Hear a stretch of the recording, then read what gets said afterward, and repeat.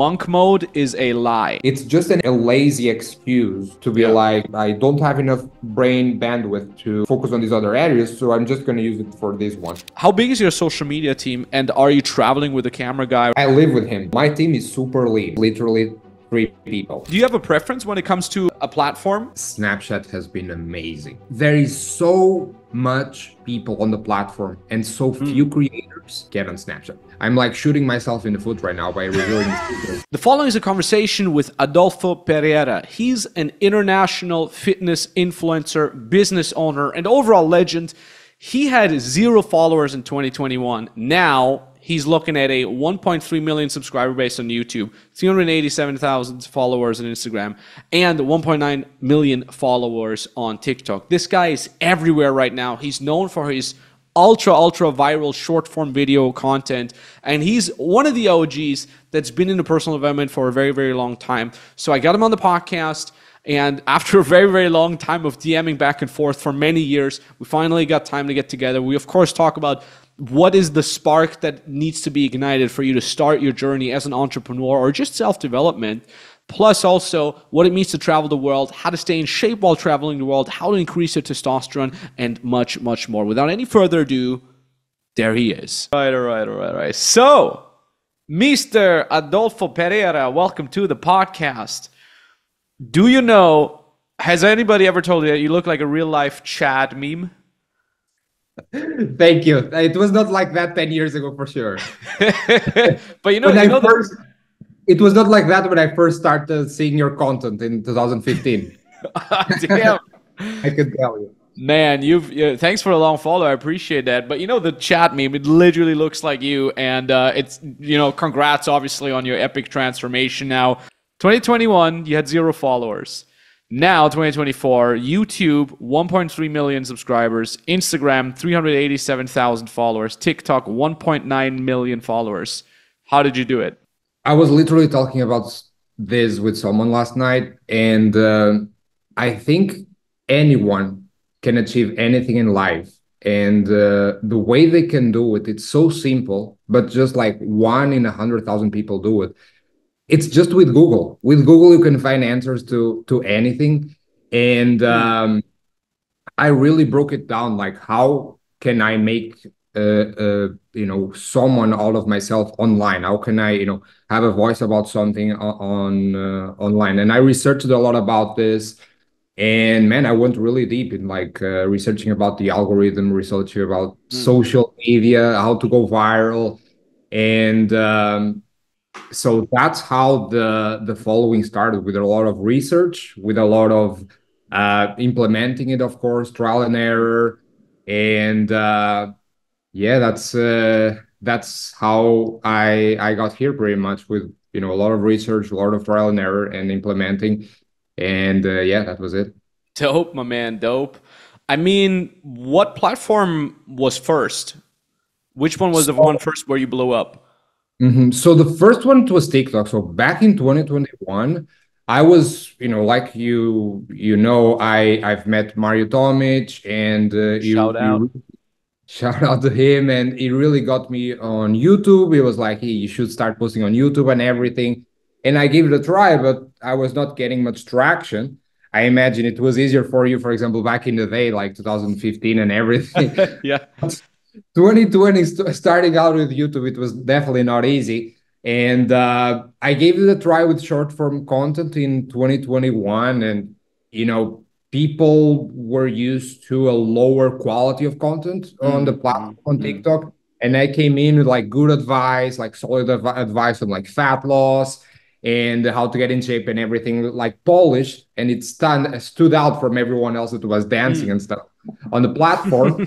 and uh, while you had platforms with people like Mario Tomic and everything with super high quality content already on YouTube, Mm, you had platforms that there was a lack of this quality content, right? And yeah. TikTok was one of them. Snapchat was another platform where you know there was a big lack of this quality content, and um, yeah, that's that's what made it easier to like kickstart my uh, my fitness uh, career, let's say. And um, yeah, then after you build up a, plat- a, a- platform, it's easier to transition in the other ones, like you know. So yeah. then it easier for me to transition on youtube and and uh, and everything after i build it up on those platforms yeah, I mean it's it's still rare though. Like usually you see one guy like kind of cracking one platform, like whatever YouTube, and then because of that they kind of have Instagram a little bit and TikTok as well but they don't actually have native content on there or they haven't built a, a, an audience from scratch there. For you it really seems like you built an audience by understanding tiktok and you got the tiktok followers and then you did the same on youtube. So it's like you mastered multiple platforms instead of just mastering one and then just kind of have it trickle down. Do you still do you still remember what was kind of like the first video that blew you up on tiktok I do. It was a, a, a, video about so a lot of people they think just eating bad food, eating a burger or something, it's what makes them fat. Mm. And it was, it was a video talking about no, it's not the bad food that makes you fat. It's like the calories. It's being on a calorie surplus. It doesn't matter if it's healthy food or not and it was a video debunking that and i think it was my first video that, that got to like a million views. And this was just like within three weeks of creating the account. So uh, that was that was like it really motivates you when you start getting some kind of results and doubled down uh, when that happened. But uh, and that's what i preach pretty much all the way until now. That's what a lot of my uh, content is about is like you can still enjoy life and uh, be in good shape it's mm. like people look at me, look at Mario, and they think those guys must be eating salads all the time. They must have mm. a really boring life. Bro, people have no idea. Even when I was hanging out with Mario, when we were going to the restaurant and everything, you have no idea. Like the foods we have. if, if people knew like the, the, the, amount of cheat meals that we have, because we set up our life in a way that you know we burn those calories. Yeah. And course 80% of the time we're actually eating the the healthy food. Yeah. But because we set up our life in a way that you know like we're in good shape we can enjoy the the cheat meals um, and still be in good shape. And that's what a lot of my content is about like how to enjoy life uh, while you know being in good shape you know year round pretty much yeah, dude. Amen. Amen to that. I mean, I also remember my buddy uh, Greg from Kinobody. You know, he like way back in the days in 2015 already. He was kind of like one of the first guys that was like, "Hey, man, like, why do you go to the gym six times a week? Like, I go like two to three times and do some compound heavy lifts, and I eat steak and fries." And that really kind of like kind of set the stage for this this idea that also you are a big proponent of of like, hey, like fucking enjoy your life, but set up in your set your life up in a way so it's easier for you. Like I talk a lot about this too is like the setup lifestyle of like make shit easy for you to really crush it. I mean, same for me. I have a treadmill desk. Like right, this is actually a treadmill desk, and I can move the desk up and down. I can move it up. I have the treadmill underneath, and I just walk. I walk freaking fifteen thousand steps a day, and plus I do three times lifting. And like I don't even leave the freaking house. I'm just there I'm just, you know, doing calls while walking. I'm doing my client things while walking, and I get all these steps in. And I can cheat almost every weekend. I have like huge cheat days almost every weekend. Like last weekend, I, I baked banana bread for the first time in my life. I, people think it's like the cool millionaire lifestyle. In reality, I'm just baking banana bread and having like the best time of my life playing video games, baking my own banana bread. Um, and next weekend my my girlfriend's gonna make lasagna and I'll make banana bread and we're just gonna live it up, man. Party hard. but um, do you do you have a preference when it comes to uh, uh, a platform? For me, it always changes. Like it used to be Instagram. Right now, it's it's Twitter. I love Twitter. Um, but also YouTube is kind of getting more interesting for me again. What what about you? Man, Snapchat has been amazing. No way.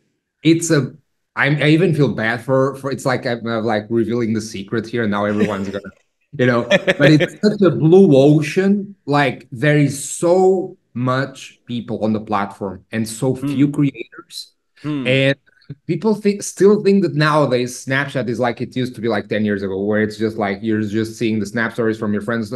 No, okay, it's just like Instagram Reels. Like you have the equivalent hmm. of Instagram Reels on, on Snapchat, which are called spotlights and it works exactly the same way. If you put out good content, it's going to be shown to uh, people that don't follow you, millions of people. No way. Hold on a second. I'm I'm going to write my visuals guy right now.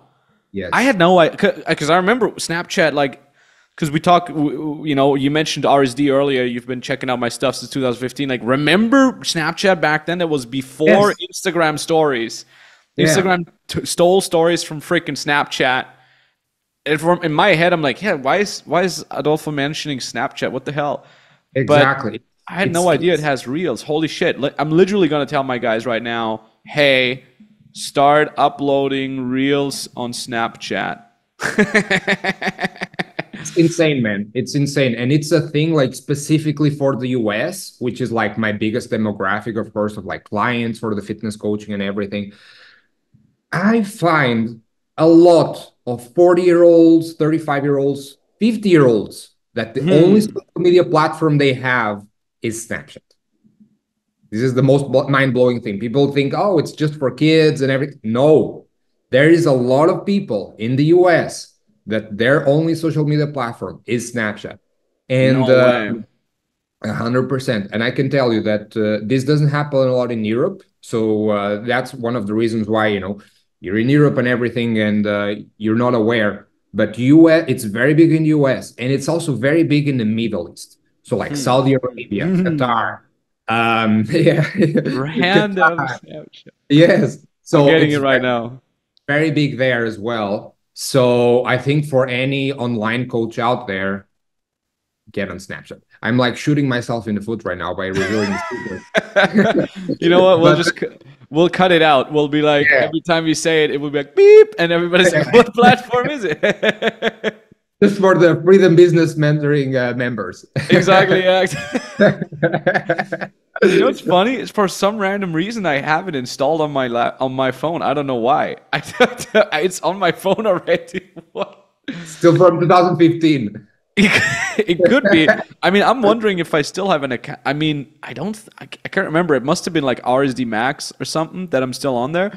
But Yeah. you know, you know, here's what's crazy. So. In and because because I saw I watched a podcast with uh, my other friend Michael Sartain that also had you on, and um, and it's so freaking crazy that okay, uh, let me backpedal here for a second. So we all know Owen, right? RSD Tyler, aka Owen Cook. I was his assistant, and then you know I worked with him. I built my my first online multiple seven figure online coaching business with him, and he always kept saying, "Yeah." I'm building RSD like with 10 years in mind because like all the guys that are following us right now, they're all like 19, 20, 22 years old. In 10 years, they're all going to be in their 30s. They're all going to be making multiple seven figures. They're all going to be making their own businesses, being crushing it on all kinds of social media platforms.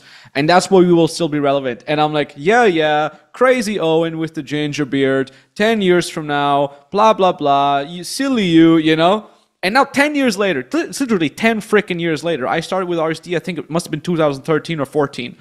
10 years later, guys like you, guy like every single guy that I meet that is like making crushing it, they're like, "Oh man, I used to watch RSD. That was the first thing for me. I just got into girls and self-development with that." Like every single guy and then, you know, I watch someone's content and I look up to them and then somewhere I hear, "Oh yeah, they used to watch your stuff."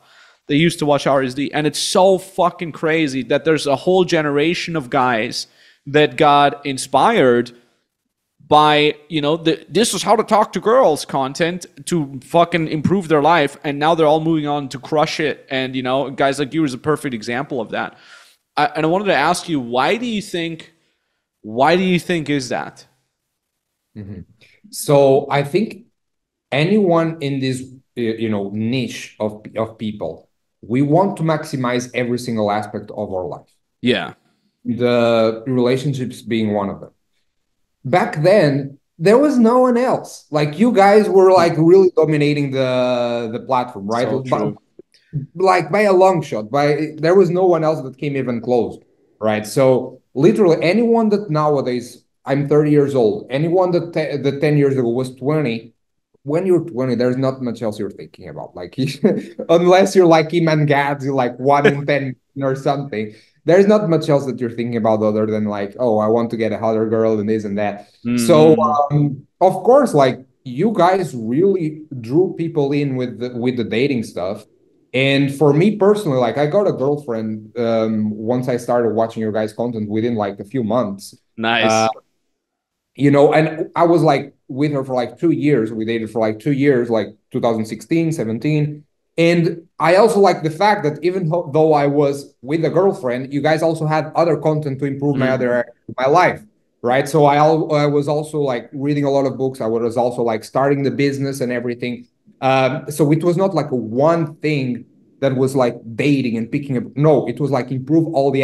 That was actually you were like back then uh, my favorite from like everyone not to like be, uh, be like it, you were actually because your lifestyle was like encompassing everything right? Yeah. you were making money you were going to the gym you were like doing everything and uh, that was what i liked about it and that was what i wanted for my life as well. So um, i think that's the reason why it attracted a lot of guys like that now are successful it, it's beautiful that you say that because for me, like that was one of the focuses that I wanted to have with the first business. I didn't want to be just the guy that's like, I'm just the guy who helps you get girls. Because I always felt like, because it was the same for me, you know, like I am part of that generation. Um, th- that I'm like, it kind of started with, I just want to get a girlfriend, like you said. And then, and then I'm like, but hold on a second. I mean, I just created something out of nothing. I just talked to a girl, whatever, in, in, in, next to me in class at university and now we like each other and now we're on a date like that was so mind blown for me that i'm like if i as this dorky nerdy chode can make a, a, girl that is clearly out of my league talk to me like what else is possible? Like what what if i just go to the gym? Like maybe i can also get like a sick body and like a six pack you know? So and then you do that and then you're like hmm why don't i just like post on social media and build a brand and build a business? And it's like for, for me it was just this like it, things are possible. It's it's possible to improve your life, and once you once you realize that, I think you get hooked. It's just it's just an addiction, man. And, you know, some people are addicted to porn. Some di- people are addicted to cigarettes.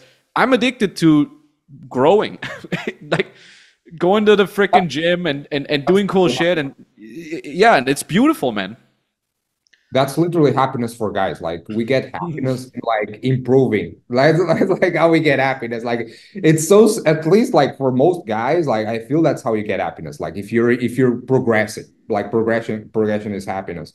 Um and uh, yeah that's how you get hooked to it because you get that progression you get that dopamine. And, yeah dude. uh, yeah. It's and, beautiful man. It, it's like because uh, I don't know, because I, I, use I, I, get addicted very easily. I got I got addicted to video games all the time. Like Diablo two, got addicted to it. Then I played it for a year. You know, then like two years later, I'm like, well, Diablo two, let me play again. Boom, addicted again. World of Warcraft. Like I I'm I get addicted very easily. But then I'm happy that I found something that I can get addicted to that's very productive. Is that the same for you as well? Do you easily get addicted to stuff? I was 100% addicted to video games as a kid. Uh, yeah.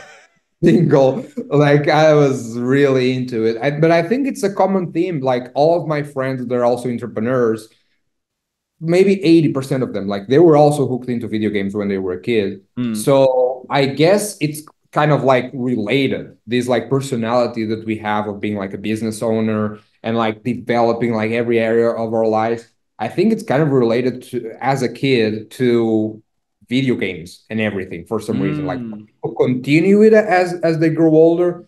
Other people like now I just have like a Nintendo Switch that I play like if I'm on a date or something. Uh, because at least this one like it doesn't get me so addicted like let's say a PlayStation or something. Yeah. Um, but uh, the point is like I think this kind of personality that we have we have that thing in common of like really liking video games at least when we were younger. I think we all have that on, in common.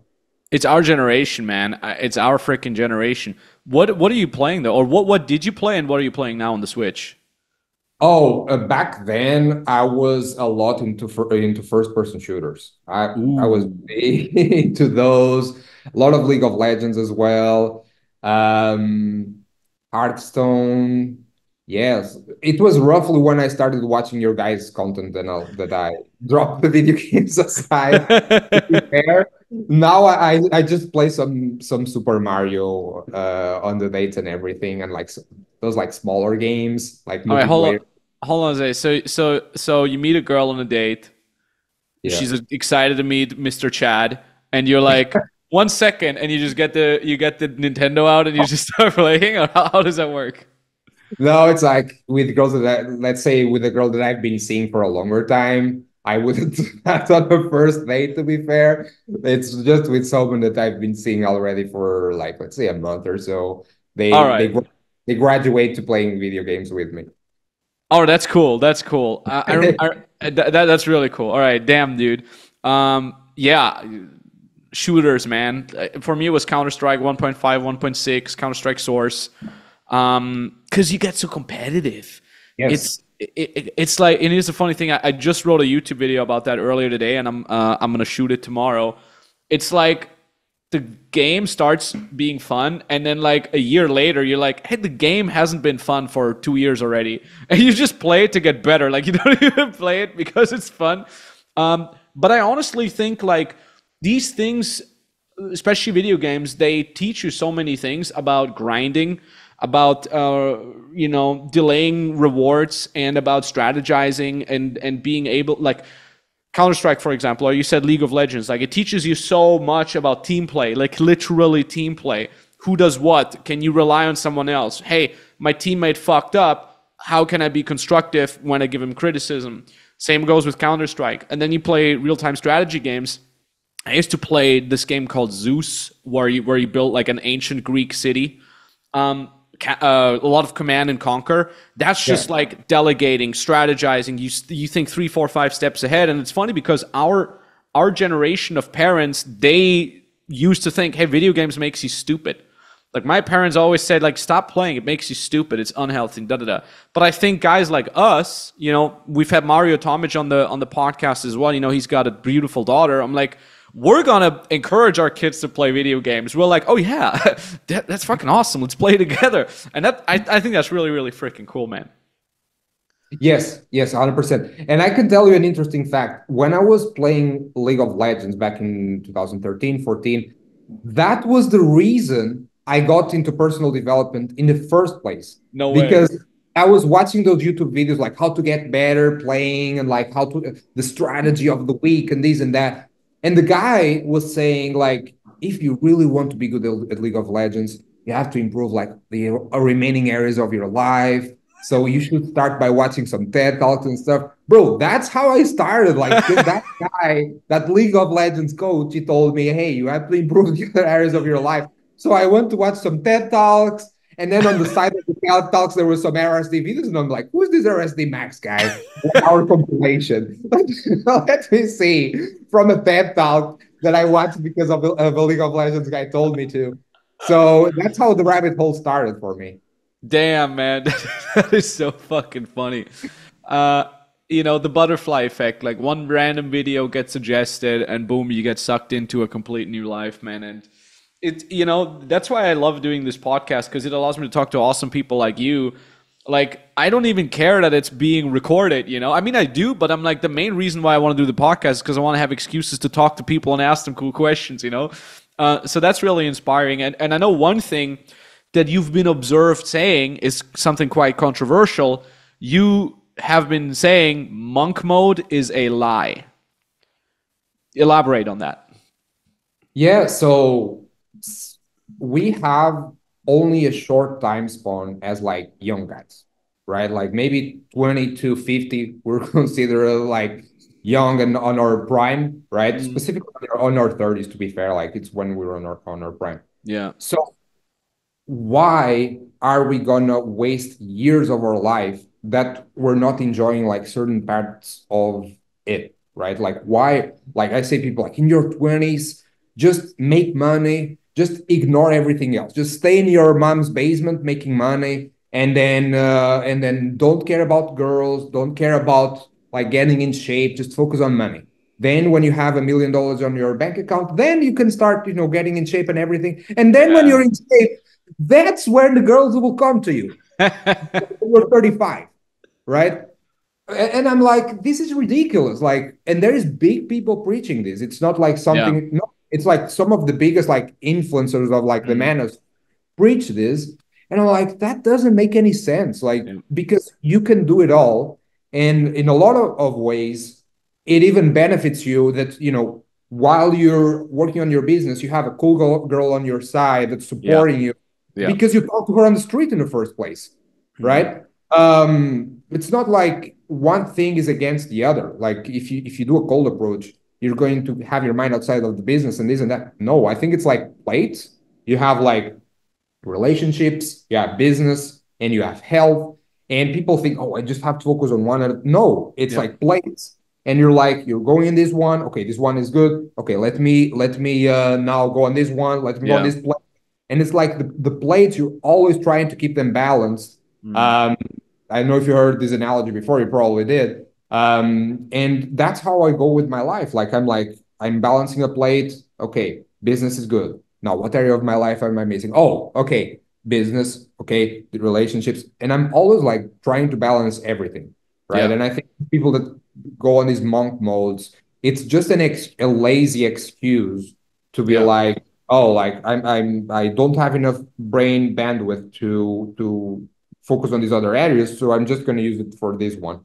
I I don't really approve that, to be fair. 100% agree, man. Because uh, I remember back in my dating coaching times, do you know how many freaking clients I've had that thought that too? They're like, I'm 35 now. I've been told my whole life I need to work on my career. And now I'm making all this money. And they've been, I've been told then the girls will come. There's no girls. And those, and the girls that do come, because I'm making all this money, they're freaking gold diggers. And they don't love me for myself. And I'm having huge issues. And I don't know how to do that and they would literally come to my in-person coachings. Back in days we used to do in-person coachings you know where we would be you know i would fly into a city i'd be there for a week and i would have three premium clients that kind of go out with me. I would take them under my wing. And here i was as like a 23 year old completely broke. Like i didn't shower. I was stressed the whole time. I looked like shit. I had the man bun. I wasn't in shape like now. I wasn't making much money. In the beginning i was making like 10 15k a month or something and then I had this Chad guy that was making multiple seven figures, business owner, pilot license, awesome adventurous life, but couldn't get any girls. And then they would learn from the dorky Austrian dude on how to talk to girls and how to go on dates. And um, that was way before monk mode was even a thing. Like nobody even knew what the hell monk mode was. And now I see this stuff being jammed down young guys' throats on, on, on TikTok and YouTube and whatnot like monk mode, monk mode. It sounds so freaking easy, but no, it sucks because just focusing on one thing, like you said yourself, it's like you're gonna completely neglect all the other things, and they're not even they're they're gonna feed into each other if you do it right, like you said correctly. I mean, I live with my girlfriend right now. I mean, I have multiple home bases. I'm usually in in Cyprus, but sometimes I'm somewhere else, and and I live with my girlfriend, and I'm like she's super supportive. Like she's, I mean, sometimes not. Sometimes she comes in while I'm working, sending, showing me a cat meme or something like. She's, and I'm like, get out! I'm working, and she's like, but the cat, look at it. but but but it really helps. It feeds into each other.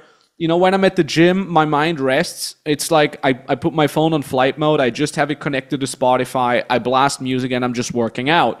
So for me, my mind is resting, it's relaxing. So when I come out from the gym, I have all these cool ideas and now I get back to work and now my body is resting and it just plays into each other. But if you just neglect all the other parts just to go all in on one part, you're going to be miserable. You're going to be fucking alone. You're going to be vitamin D deficient because you're never going out. Um, you probably you're not going to be able to work as hard because your body is just full of shit food and whatnot. And uh, like you said, man, like you should enjoy life, and that's what I always think is so cool about your brand, man. Like you say, fucking enjoy life, do cool stuff and don't kill yourself over the progress. And I think a lot of young guys need to hear that. Yeah, uh, to be fair, like when I started, I had a different business. I actually started back in 2016 with a graphic design uh, freelancing and then agency. Um, and I looked at all of the other people that were in my field, other entrepreneurs like business owners, and I wouldn't exchange lives with them because they were out of shape. To be fair, like they were out of shape they were not experiencing life. They, they didn't left their country ever. They mm-hmm. had an, an attractive partner. And I'm like, like I, I don't want to exchange lives with them. You know what I mean? Mm-hmm. And uh, that's one of the reasons that led to the career change. And then meeting Mario, we were both living back then in the same building in Cancun in 2020 by a coincidence, by a common because of a no common way. friend, because of Boston. Bostian, shout out yeah. to him yeah, he introduced us and everything because he saw we're both into fitness. And uh, I started looking at Mario, and is, I was like, now this is a. It was like seven years older than me or something, Mm. and I'm like, this is where I see myself in seven years Mm. when I look at him. Not not these other guys like I was in the graphic design field. Not these other guys like out of shape, don't try. No, this guy. I want to be there in seven years. And uh, of course, I started hanging out with him and everything. And eventually that year, I ended up selling my graphic design agency. And that's where I started with like going full time on on the fitness thing. Um, and that's what led me to preaching. Okay, now I'm going to teach these people that I saw when I had the graphic design agency. I'm going to teach people like this that, you know, if you want, let's say, if you want to get to a million dollars a year, to seven figures, for example, uh, if your body is not optimized, for example, it's like a car uh, trying to win a- race with a flat tire. Mhm. Right? It doesn't make sense. So the fact that you have a very nice shape, the fact that your health is on point, it's going to make it much easier, for example, to get to seven figures. It's not the other way around. It's not like monk mode and ignore it. No, if this helps you, right? So yeah, that's one that's one of the things I teach a lot because I was in their shoes back then during like four years when with my first business. Yeah. I mean, that graphic design agency, that's also something I'd be pretty curious about. So you went from freelancing to agency and then you sold it. Um, what were kind of the steps that you took to make it into an agency? Um, how did you sell it? To whom and for how much? If you if the numbers are allowed to be talked about. Yes. So first, the first question is how it started. Yeah, how you Uh, transition from freelancer to the agency model. Wait, is it? Yeah. So uh, I um I was always a lot in, uh, into social media, so I was posting a lot of my works on social media back then. Started getting more and more clients, and eventually, and I was doing branding. I was focusing on branding, so the logo, the uh, business cards, and everything. And I did this for like two years, almost three, by just by myself. Mm. But then I started getting people asking, "Hey, can you also design my website? Can you also do this, that?" And I was like, "Okay, I can either learn to do this, or I can, you know, outsource it to someone that knows how to do it better, and I have more time to focus on the business itself." So yeah, I just started hiring people because I didn't knew how to do certain things, and I I didn't want to learn it. I wanted to focus on the business instead. Um, and yeah, I started hiring people to do like the, the, the website design and everything. Um, and you know, one thing leads to another. Like first you hire like your first designer, then you want to hire someone also to do the, the branding because I I was just doing like let's say for example the sales calls and business management. And uh, it's just small steps, you know, you just start hiring people because you don't have time to do everything. Mm. So it was it was never like a huge team. It, like, we just got to like four people Mm. uh, in 2020 uh, when when I sold it.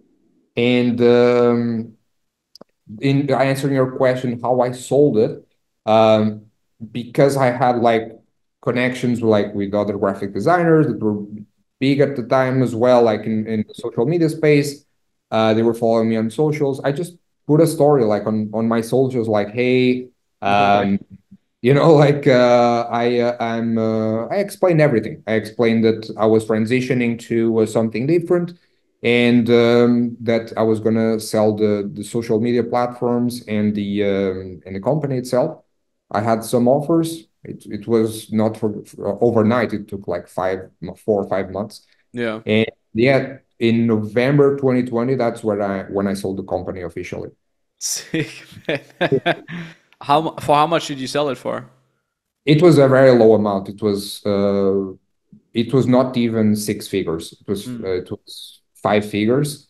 Yeah. Uh, because like I said, like uh, it was a small company. Yeah. Uh, it, it they were mostly buying the social media accounts. If I'm being Yeah. fair, What account- mostly What accounts Yeah. did you have and how big were they? Um, with graphic design, Behance is, is a social media platform specifically specifically Mm. for designers. Maybe you never heard. It's called Behance, Dribbble. I have an Instagram account for that for for um, the the graphic design. Yeah, it was those three platforms. It was those, those three. Um, yeah, so that's mostly what they were buying, the, the social Did- media platform. Did they also buy like your client base? I'm, I'm sure you had like some sort of recurring clients or something like that. Was that included in there? Unfortunately, I didn't. That was one of uh, the reasons I transitioned because Mm. it had a recurring client model, Ah, which, mm. as you know, is not the, the best kind of business. So Yeah. that's why also it was it had a lower price point because it had no recurring clients. Mm. Um, good thing it had was the exposure of the socials. That was what the the, the price point was was based on. Gotcha, gotcha. That's interesting. And when you when you transitioned, did you already have the kind of the fitness coaching going on, or Yeah. were you just starting? Okay, so I guess there was less risk involved. You were just like, "Fuck it, I'm already doing the other thing." A hundred percent. I never wanted to be one of those broke fitness guys trying to sell you supplements. You know, like Mhm. that was the one thing that I didn't want to. So I just went into it when I was like, okay, if I don't make money for five years, I'll be good. If the worst the worst thing happens and I wouldn't make money for the next five years, I would be good. So uh, this way, I was like not dependent on uh, on anything where I started. And uh, but yeah, I was already starting the fitness thing Mm. like four months prior to selling the company, so it was like a smooth transition. Um, it was not like I quit one and I started the other. Yeah. it was gradual. Uh, probably like like it was for you back in the day when you when you transitioned. Yeah, yeah, it was very much. So two things happened. Number one, like I, I had people come into me and buying my dating programs just to then ask me business questions. Like I remember this one guy, he he bought like one-on-one program with me for for 24k back in the days. And I have a one-on-one call with him and I'm like, "So, how can I help you? You know, like how's how's it going with the ladies?" He's like, "Oh, happily married for 10 years. Just bought your program to ask you business questions like how I can build a coaching business." And I'm like, "Oh, I'm onto something here." So it was kind of like a natural thing. Plus, I think there was like a 2 or 3 month period where I was still selling dating stuff, but then also the business stuff on the side. And the business stuff, number one, it outperformed the dating stuff like crazy. We were making way more money. And then number two, it excited me much more. I felt it was something that is closer to my passion. I always liked helping people. I loved helping people in the dating stuff. But then for the business stuff, I'm like, this is kind of cooler. It's a, just a personal preference of mine and then we just transitioned all in. I was like, okay, let's just go, let's go all in there. And I also have to shout out to you know RSD and Owen. They were super supportive on that. And I mean, I'm still in touch with basically all of them. You know, I've had Jeffy on the podcast. I've had um, Madison on the podcast. I hope I have Julien on the podcast this year. But we're always both traveling weirdly, so maybe we'll make it online happening. And um, and and and yeah, it's, it's been pretty cool. Now, seeing that you're posting so much on freaking Snapchat, and by the way, I finished down, uh, finished setting it up. Uh, Snapchat, Instagram, TikTok, YouTube. How big is your social media team, and are you traveling with a camera guy, or how exactly does that work? I live with him. I literally live with him. Nice. Yeah, yeah, yeah. Yeah, I literally live with him. Bro, my team is super lean. I my team is literally three people. Sick. It's literally me, my guy that lives with me, and uh, a coach, an assistant coach that uh, they work both of them work full time for me. Mhm. Um, my assistant, bro, is a machine. Like, uh, is a, yeah. a fucking.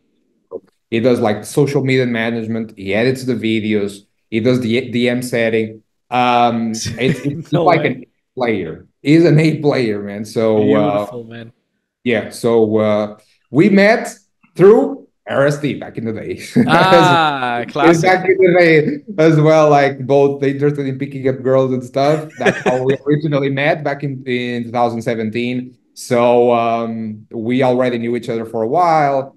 And, uh, you know, when I was looking for a videographer, I put it up on my stories. Of course, I got hundreds of replies. He was the one I, I knew for a longer time from back in the day. I'm like, Mm. yeah, let's give it a shot. And um, eventually we were just doing things online. It went well. I'm like, bro, you want to start traveling with me? And I was like, yeah, let's do it. So uh, so yeah, now we we uh, hang out together. To be fair, now I don't travel as much as I as I used to back in the day. I've kind of settled down here in Brazil. I've Mm. kind of like found my place um here in Brazil. So I just spend uh, like around seven, six months uh, here in Brazil and the other half of the year in Portugal, which is my uh, where I was born in the first place. yeah. And I hang out a bit with Mario there. He's also living there in Portugal True. um, and uh, and other guys. Um, so uh, and yeah, we live together Uh, What made you? Uh, first of all, where, whereabouts exactly in Brazil? What city? in the south, uh, it's right next to Florianopolis. I don't know if you ever heard about it. What? Yes. Why exactly there? So uh, Brazil, um, it's the most beautiful country in the world, Hmm. and uh, but it has a very big problem, which is the safety. Um, as you know, a lot of people talk about, and you probably heard about South America. It's dangerous and this and that. So that's you know how it is in the north of the country. Now, what a lot of people know is that in the south, it's even safer than Europe, Hmm. and and it's even cleaner than Europe. Like if you No look shit. yeah if you look out out here like in the in the streets like it's a super wealthy place um it's back when world war ii like ended a lot of like germans italians polish people came here to live here and they brought health and they brought like the the german uh um you know um planning of the cities and everything so Mhm. everything very european here Hmm. um, so um I can even show you here Yeah. Let's have a look. let me see. Oh, Nice, nice setup there. First of all, that uh, looks pretty sick. Oh, s oh, damn. All right. How many people live there? It looks like a huge skyline. uh, you mean in the city around like over a million, I'd say? Damn. Okay. All right. So you you were I, I guess you were trying multiple cities in Brazil and then you just got stuck in this one? Uh, bro, it was luck. I'm I'm gonna show it with the camera as well, so that then you can Yeah. get the. Re- um, I uh was lucky because I had another friend that is Portuguese, and that uh, he came here because you know life brought him here. Like he's also an, an entrepreneur, and he had someone a mentor that was here and that invited him to come here, and he came with a mentor. Um, and uh, he, bro, he was amazed by this place. He told me to come here, and so it was like a referral. I came here through a referral system, and uh, so it was pure luck. So imagine you, uh, you had a place that uh, they spoke German there, and uh, that was like paradise during winter. It was warm during winter. Yeah. That's the that's the equivalent for me. So I speak Portuguese. Uh, I come here, they speak Portuguese, so it's kind of like a no-brainer. Okay. Yeah. That- That's awesome, man. I mean, you've what made you stop the traveling? Because I know I know what made me stop the traveling, although I keep traveling for some reason. But I'm always curious, like what what are like the the main factors behind your decision now to say, hey, I'll only do Portugal and Brazil at least most of the time. Yeah.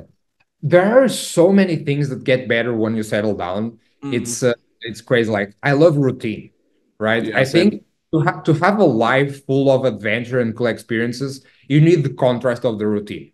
Mm. because if you don't have this contrast of like routine and uh, you know crazier experiences on the weekend crazy adventures if you don't don't have this uh, contrast you don't experience either and uh, even the adventure don't, don't feel as good so now when i spend the whole week grinding here with this amazing view and um, you know i have a really productive week making a lot of money helping a lot of people get in shape it feels much better on the weekend when I go do the jet ski, when I when I play out with my friends. That feels much better instead of uh, when I was just like going around spending like two months in one place, uh, four months in another, like randomly. It's like when you don't have a routine, you don't feel the highs as much. Yeah.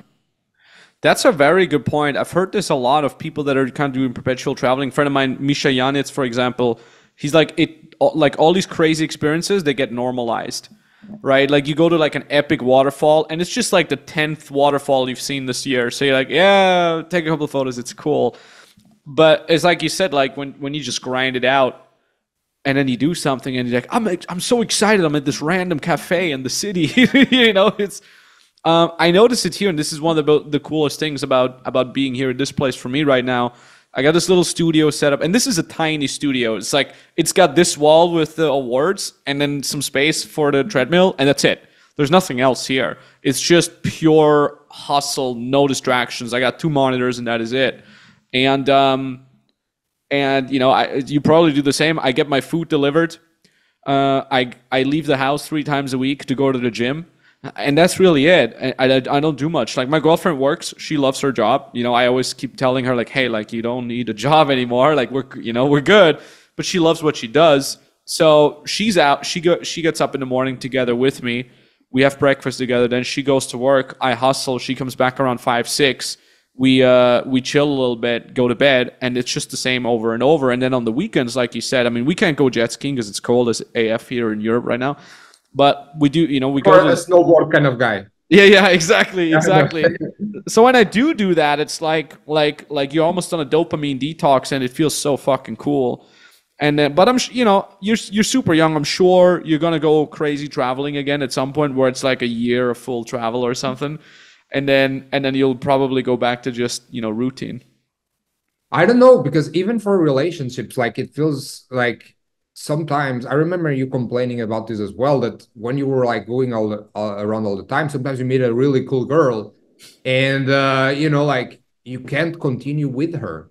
That was like Yeah. a big issue as well, and uh, I didn't want that anymore. Like I wanted to, if I want to be with one girl, I can stay with her, Mm. right? Um, that was another big aspect also like of stopping the so much traveling uh also like the relationships aspect it makes it so hard to actually like get together with one person for like a longer period of time so Yeah, good um, point. Good point, man. Good point. And uh, but you know, apart from that, like you've been, you did it right. The the traveling 'cause was because what I did in the beginning with the dating business, like I was touring, which means every week a new city, which means you're in a city and you don't really get to see much. Like I remember I was in New York like five or six times before I even you know went to see the Chrysler Building or went to to frickin' uh, uh, Times Square because all I saw the first five six times was just hotel rooms and seminar rooms. But what you did is like you you stayed like three months in, in most of the cities that you went to, and uh, and I wrote them down like it's Dubai, Houston, Miami, Bali, Toronto, Paraguay, Brazil, Portugal, of course, Poland, and Serbia. What what was the best city for you in regards to socializing and meeting fellow entrepreneurs? oh dubai 100% Mm, yeah. by that aspect nothing comes remotely close in terms of like networking. If if networking was all i wanted in that this stage of my life i would be in dubai. Mm, let's put it that way. It's every single place you go to a small cafe uh the day day the time beach lounge every place you go to you just see like a guy casually walking by with his rolex or his Yeah, yeah. And uh, people there are just open to to meeting each other it's like most people go there for that specific reason and uh, even my business now on my fitness coaching uh, mentor, I met him there. Shout out to Charlie, uh, Charlie Johnson. Um, I met him there. Uh, he's the guy that you know got my business to the next level, um, and uh, and I'm really grateful to have met him in Dubai in the first place. So um, so yeah, for networking, Dubai, hundred percent. As a All lot right. of people. Oh yeah. Okay. What about food? For food, uh, that's a trickier one. Um, Hmm. but I would say my country is has the best food, Portugal. No shit. One, that No one I, shit. I never traveled to a place with better food than Portugal, to be fair. And I think Mark can attest to that because he's living there now. Yeah. what Uh, kind of what kind of food? What are what is Portugal famous for? We have a, amazing meat. So if you're a Mm. meat person, Hell yeah. amazing meat. If uh, of course we live by the ocean, so amazing fish as well for those who like it. Bro, it's just the Mediterranean diet. As you we live in Cyprus, so we have Mm. like plans of the Mediterranean diet probably. Um, Mediterranean diet is just healthy and tasty. It has a good combination. Mm. A lot of people I I coach with the that that I help lose fat and everything. I they live in the US and I introduce Ah. them to the Mediterranean diet, and they're like, "Oh, I didn't know healthy food could be this tasty is good." You know what I mean? The, recipes and everything, like to use olive oil in terms of inter, instead of soy uh, oil and stuff like that. Yeah. They're like, "This is actually even better." Mm. Yeah, so people are quite surprised. So my country has the best food, I'd say. I mean, now that you say it, man, I- I think I think we even wrote about that on Instagram. I was in Portugal last year in I think September to see uh, Blink One Eighty Two. It's like super random. They were touring Europe, and Lisbon was one of the few places that still had VIP tickets. So we went there and I stayed there for two nights and I got awesome steak there. Both like, oh my God. It was completely different level, man. So I can attest to that. Um, now you've also lived in Bali for three months. Did you like it or was it overhyped? Uh, I was in Bali for eight months, actually. Oh shit! Okay. Um, yeah, and uh, I can tell you that it's perfect in a lot of ways. It's not overhyped, mm. but for business owners, the time zone it's um, a deal breaker because it's the other side of the world of uh, you know the Western world, the U.S., Europe. Yeah. So you have to have calls at 10 p.m. and yeah. this and and I'm a really morning person. I like waking up at ah. seven doing my stuff in the morning, going to the gym, maybe a bit more in the afternoon. Uh, but at f- at 5 p.m. I clock off, mm. and uh, that you can you can't achieve in Dubai. Mm. So time zone was one of the few deal breakers in Bali. Yeah. Everything not overhyped. Trust me. If if anything, it's understated. Bali is such an hmm. amazing. Mm. Um, that uh, if you want to enjoy, if you're not like worried about you know calls for your business and everything, and you need a month of that, um, Bali's, uh, and I know you're into meditation and stuff, so you're more into this spiritual part too. So Bali's an amazing place for that as well. Damn, it's so funny. Like the more people I talk to, uh, the more hyped I get about all kinds of different places. So you made Brazil really interesting for me.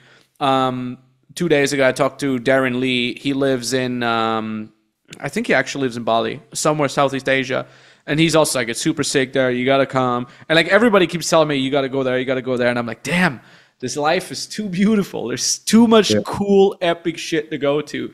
Plus, you know, last year I was in Japan for a month. I just lived there for a month straight up, and I loved it. So I want to go back there. And then, you know, of course, Cyprus all the time. And now I miss Austria again. Like, I want to walk around the mountains and stuff. And two other friends of mine, they want to go up a hike up a 6,000 meter um, uh, mountain in Georgia where they invited me in July. So I'm like, ah, I guess I gotta go there too. It sounds that, that's probably Nikita, no?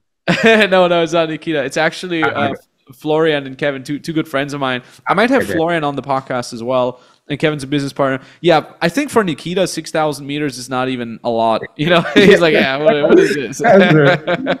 yeah. Have you met Nikki Bra yourself already? You know, he was actually my coach before I was a fitness coach. He no coached shit. so that's uh, epic, man. Yeah, back in 2019, 18, something like that. Wow. So, other than Mario, he was another one of the my inspirations to it was one of those people that I was like, okay, he's like, I don't know, six years older than me or something. It was yeah. a person I was like, I wouldn't mind being here in six years. uh, Nikita. So shout out to him. Thanks yeah. for the inspiration that he, gave me. I, I mean, with Nikki Bra, the crazy thing about this guy is like he's traveling a ton, and he and because it's so crazy. So I talked to to another friend of mine, Ash Dykes, uh, and he's like, "Yeah, like I can't imagine." Because uh, obviously Ash has a, a lot of skills that he would absolutely be crushing if he would coach that but he's like i don't know but how would i do that when i'm in the jungle? Because you know ash ash dykes he travels around like going crazy jungles and stuff like that. He's broken a bunch of records. And then i'm like i mean yeah it probably won't work in the jungle but then also i know nikki bra he, he's got this like $5000 satellite internet thingy that he carries with him and he's like i remember he once replied to my coaching question because i you know you do a weekly check-in with him and he's like yeah greetings from Everest Base Camp. it just was like he sits in this tent on Everest Base Camp with this laptop with satellite internet, just coaching his clients. so fucking amazing. And um, you know, there's like a bunch of main characters in this world. And uh, it's so cool. And Nikki Bra is definitely one of the main characters, you know, where you're like, how do you live this crazy fucking lifestyle? And um, yeah, man. You're doing the same. Like you've traveled while making multiple six figures a year and stayed in shape and all that. And I know a lot of people can't do it. What was kind of like your learnings? How did you manage to do all that? So that's another part where the routines help so much. Hmm. Uh, for example, for me, I have a list of things that I are a requirement for me to stay like let's say a month in a city, especially back then when I was traveling and uh, being walkable is a big asset right? So just the fact that you live in a walkable city Hmm. and uh, that you get to walk to your gym, that you get to walk if you need to get some groceries. Like I actively want to go get the groceries. I could tell my cooking lady to to get them for me. Um, instead of getting my food delivered, I actually have like she comes cook at the place, you know, like for Yeah. like three meal prep for three or four days. But anyways, like I could tell her to go get my groceries, but I, I actually want to because you know, know thyself. I am a person that likes walking in the street. Mm. I'm like that. This comes back from like years. Like I always w- liked walking in the street, um, and just that, just to, those ten thousand steps a day. Let's say that's like the magic number that everyone knows. Yeah. Uh, there's no magic about that number, but it's just like a milestone. Just that helps you so much, like in in staying in shape. And um, man, to be fair, like um, in terms of the the traveling, I just allocate slots for fun and I allocate slots for uh, uh, focus. Hmm. And even though I travel a lot, from Monday to Friday, I'm grinding, right? Mm. Like the weekends I enjoy more, but from Monday to Friday, I'm grinding. Um, and uh, I, you know, I really stopped watching like movies and, and and TV shows and playing video games on my own. To be fair, like Mm. I just um, I just use my spare time to uh, you know do research and see how I can like organize my my stuff, like journaling and stuff. Um, so a lot of this free time I used to like plan and research.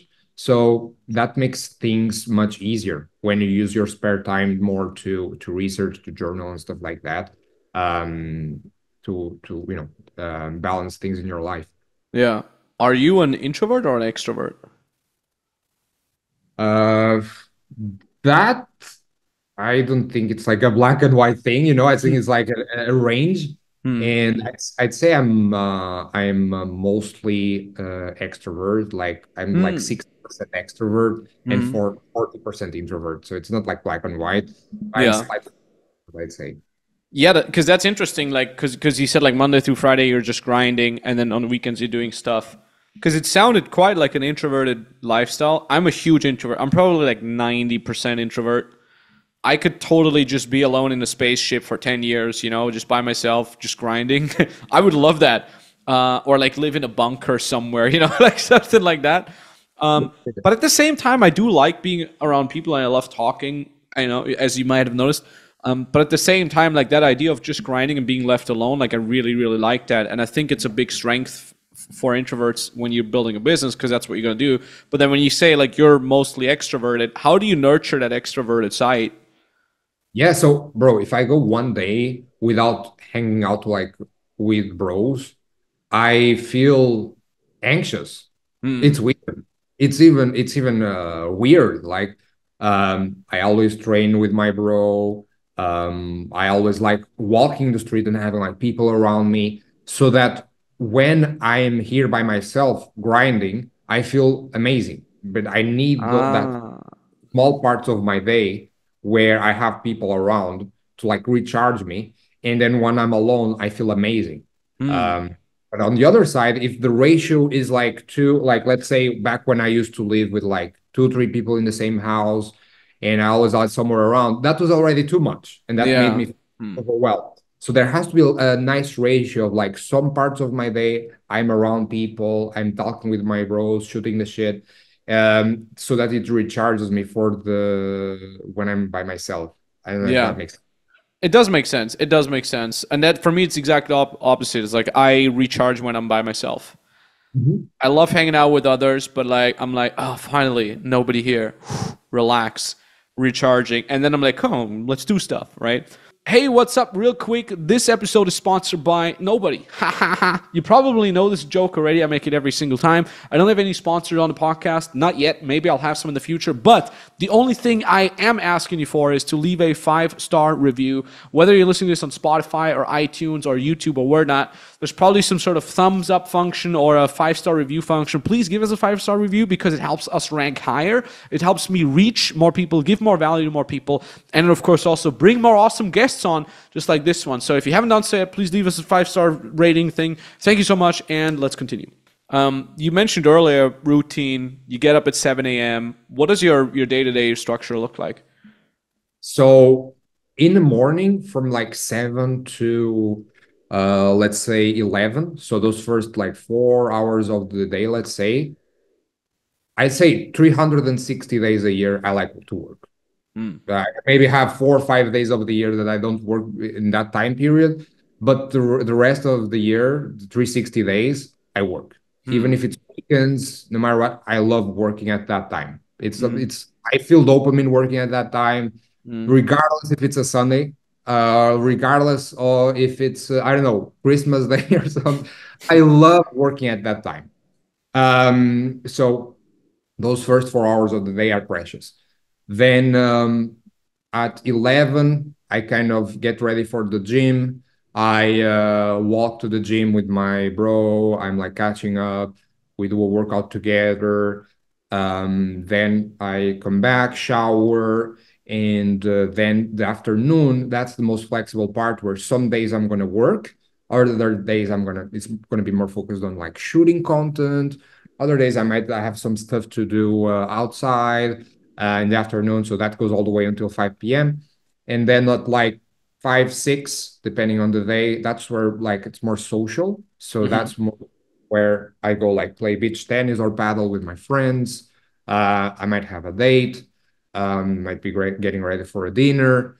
Um, so that period is like the more social part between like mm-hmm. six and like nine. And then between nine and 11, I, that's where I like staying by myself. And like it's more mm-hmm. like journaling, more reading. Uh, that's a, a, another period of time that is, it's like I love being by myself between like nine, 11, mm. those like last two hours of the day. Yeah. It's more like kind of uh, kind of time. So yeah, this this is like the the biggest uh, routine, like Monday to Friday. Of course, on the weekends it's a bit more flexible, especially in the afternoon. Right in the afternoon, it's more like we go to the beach, we uh, we go to jet ski and stuff like that. Uh, so it's roughly that. Do you have a lot of uh, changes between seasons here in Brazil, or is it always like eternal spring? How they say? So here, uh, all the way from October until May, until the end of May. So beginning of October until end of May. So that's like eight months. It's uh, equivalent to summer in Europe, hmm. pretty much. Like, it's pretty much how it is. And then from like June, beginning of June until end of September, that's the winter here. Mm. Which, to be fair, winter here is like 15 degrees. still, still decent. Yeah. So, but I still go back to Europe on that winter time uh, to have summer in Europe. So um, yeah, that's roughly the, how the seasons go. Yeah, that's pretty decent, man. Damn. I mean, that's freaking beautiful. I, like I said, I've never been to South America. I've been to Panama uh, once or twice, and uh, and that's it. That's that's how far south I've ever made it. But you know, I've got so many. Fr- say, say yeah. again. If you ever come, eh, we have the second biggest Oktoberfest in the world here. No way. yeah, and if you if you look up on Google, second biggest Oktoberfest, it's here, uh, like literally 45 minutes away from my from my house. Uh, so if you ever come, October. Uh, that is so funny, man. Yeah. I mean, do you do you drink at all as as a fitness and, and health coach? Uh, what where are you on the spectrum? Zero alcohol or just high quality alcohol? What's your deal? Very mod. I'm not. I was never too much in. I mean, I was like to be fair like between like 15 and like we start drinking at like 15 in yeah same in austria yeah. So drinking I mean, age of 16 so, yeah. Yeah so between like 15 and 21 i kind of got it out of my system the whole like yeah. getting drunk on the weekends part and everything.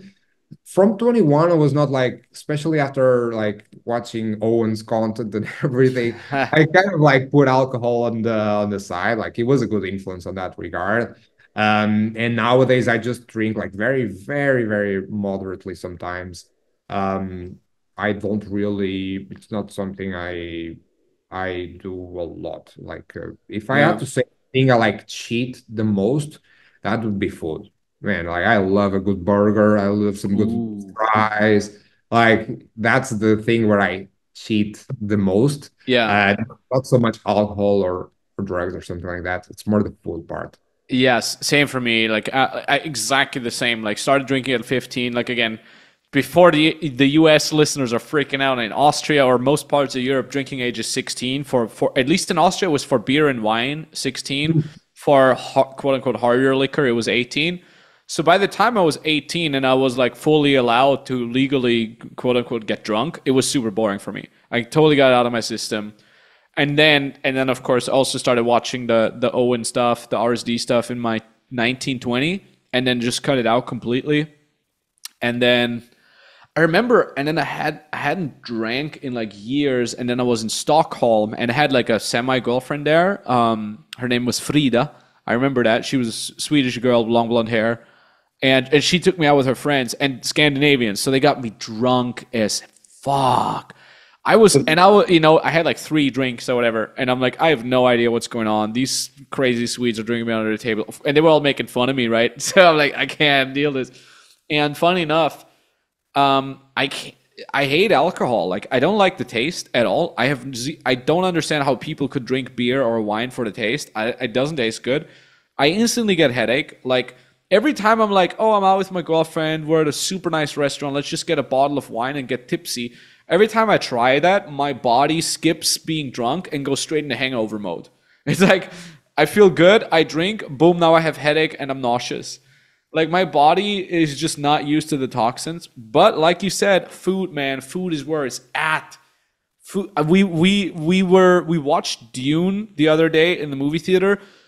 You should have seen the food that I smuggled in, like donuts, huge popcorn bucket, uh, nachos, two chocolate bars, and, uh, pine nuts, like all kinds of crazy. It was probably like four thousand calories while I was watching the freaking movie. What um, what? Because you said you love cheating do you have a certain structure there as well? Like how many days a week you eat clean, and do you have a cheat day or something like that?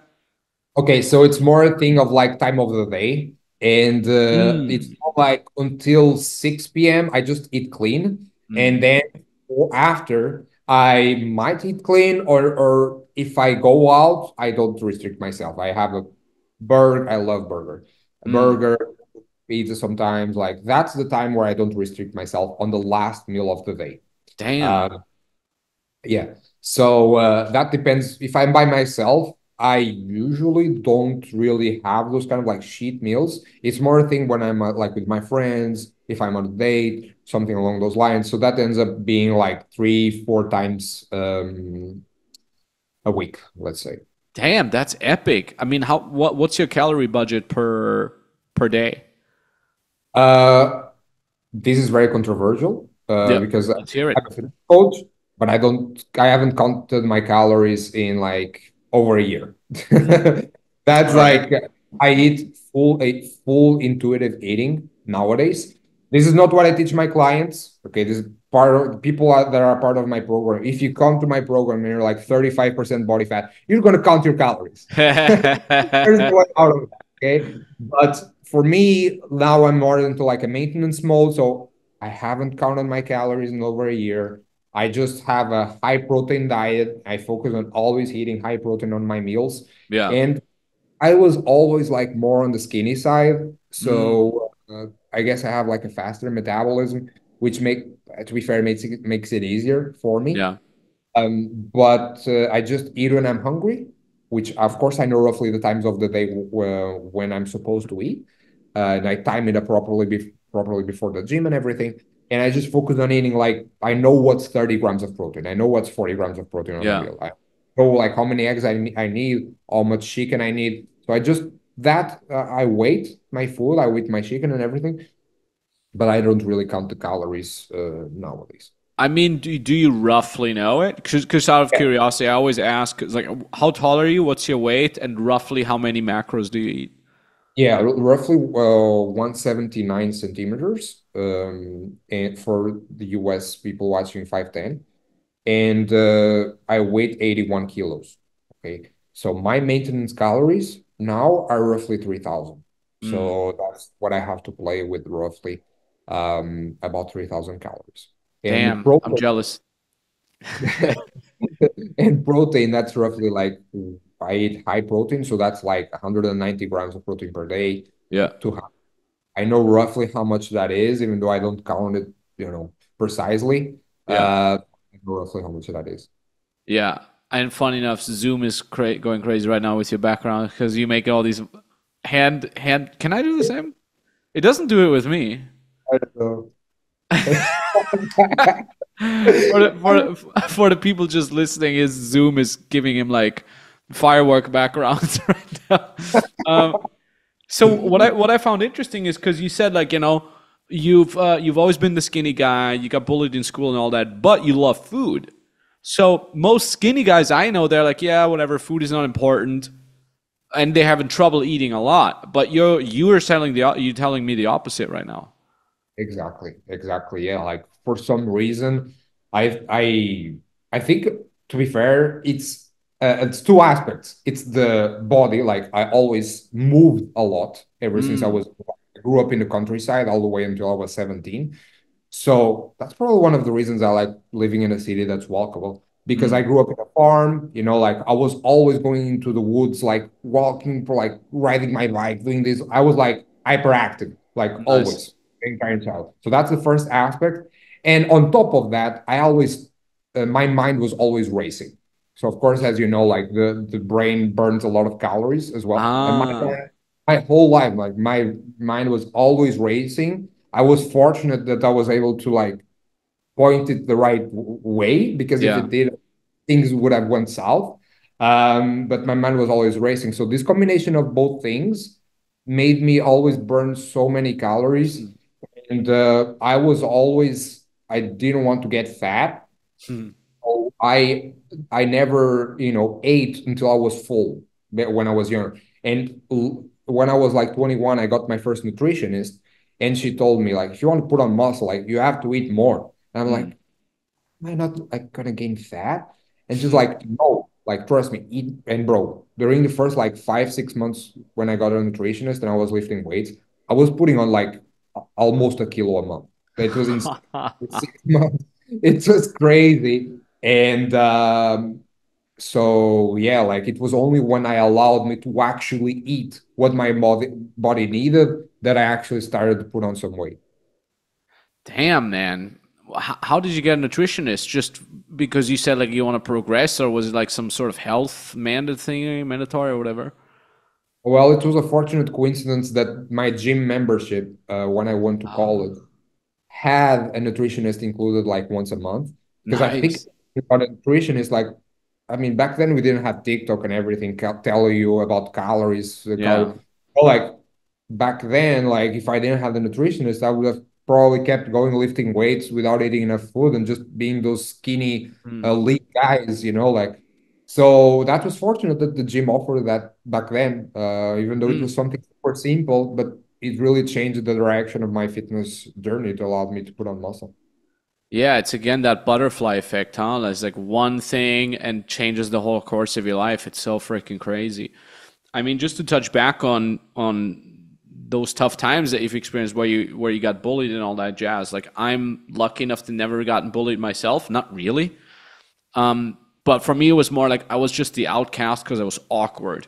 I was not like a target for stronger kids or something like that, but I was still like nobody really wanted to do a lot with me because I was always the awkward Star Wars nerd, talking about Lord of the Rings. Then, of course, I started listening to metal, which didn't resonate at all with the other kids because they're like, he just listens to weird music.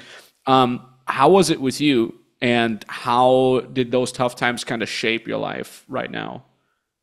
Yeah, so I grew up with a single mom, so I didn't really have like a father figure to kind of like teach me how to defend myself, like uh, uh, from other kids at school and everything. Mm. And that led to, you know, kids just take advantage of uh, of you, you know, like just pushing you around and uh, just like um, bullying you pretty much. Mm. So um, now looking back, I'm fortunate that things like this happened because if I didn't have, you know, I were not like bullied when I was a kid, and like if I didn't have like this shitty things happen when I was younger, nowadays I would probably have maybe I would have like an average life, like an average nine to mm. five.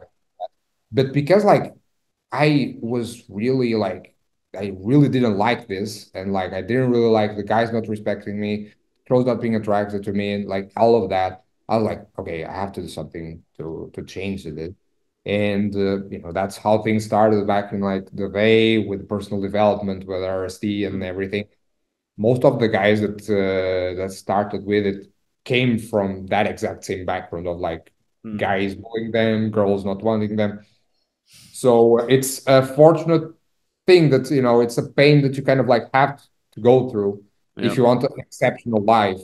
Um, and when you're even now looking back, like we look back to this shit that we had when we were younger, and we still feel like, oh, that was like bad. But you really think about it, like no, it was actually good that we had hmm. now we're right. I mean, one one question that I always ask guys like you, and I'm always curious about the answer is like, because you got it out, you got it figured out, and you got from being bullied, you you stepped up, you're now a successful business owner, you're in great shape, you're crushing it, you're learning, you're improving, you made it happen. But for every one of you, there's probably hundreds of guys and girls out there that don't step up. And for you, you said, you know, RSD, personal development, those things were a catalyst, like they multiplied it, they helped you. But somewhere in there must have been the, the spark that ignited the fire in the first place. But then again, some people apparently don't have that spark. They're just a victim their entire life. What do you think is the difference? What do you think is that spark that makes people go from zero to stage one? I think there has to be a really strong desire for something that in that situation is out of reach. And it has to be something very specific. And you have to have a really big desire hmm. for, for that specific thing. And uh, everyone is different in terms of like this thing that they desired before they started this journey. Um, but I think I've never met anyone that is in a successful place now, uh, coming from like a shitty background. I never met anyone that like didn't have a very strong desire for a, a specific thing, a hmm. specific vision that they had for a few years later. Um, I get people that didn't have enough attention. Friends of mine didn't have enough attention as a kid, and they had like a big desire for fame. Uh, because like they wanted attention and they craved it when they were a kid. So now they they really wanted it like when they grew up. Um other people no one listened to them and so they wanted to become a coach so that they could people for a living. Uh, and they now they want to impact as much lives as possible which is a very positive thing. Yeah. but that started because of this lack uh, that they have so yeah. it's good to turn a lack of something into something positive. Like yeah, like so there's a lot of different reasons. Some people have one, some people have like a mix of them. Um, but there has to be this strong desire for something. Um, mm. and and it, there has to be a big discomfort if you don't have that thing in your life. You have to feel really like uncomfortable and bad uh, if you don't have this thing that you're desiring for on your life and this gap it's what causes the the change to happen. Yeah. That's a good point man. And like i said i, I ask that to everyone. And the, the the answer is always slightly different. And uh, that's why it's interesting for me. Now you've mentioned desire. You've mentioned discomfort. Clearly now you you have less discomfort than before. Uh, in a lot of people's eyes you're living the life that a lot of the people that follow you want to live. Do you still have a desire on a personal level, on a business level, and what is it? Mm-hmm. Uh, I definitely do. I definitely do still have uh, a strong desire, and uh, that is what keeps me uh, going for sure. I uh, when it started, I had this thing in mind, this desire in mind, and uh, I still I still have you know it didn't really change. The difference is that now I feel much more fulfilled and uh, I feel happier because mm. I have like a lot of the things I wanted. Uh, but the desire, just like for you, for example, it still has to be there. Otherwise, uh, mm. you wouldn't. I feel you wouldn't feel so motivated to to do things.